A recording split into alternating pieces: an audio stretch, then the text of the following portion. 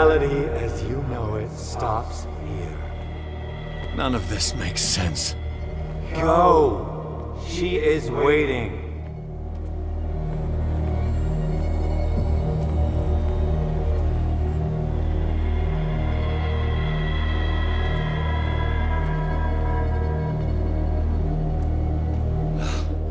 What have they done to me?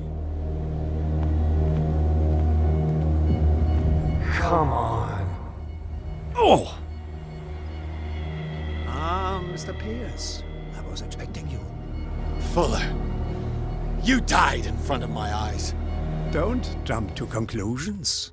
Is there not the tiniest spark of a scientific mind inside of that detective skull of yours?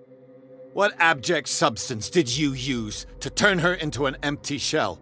Abject substance. The serum extracted from Leviathan's oil bestows the power of life.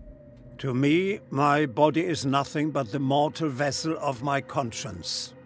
To you, it contains more answers and secrets than your insignificant mind can grasp.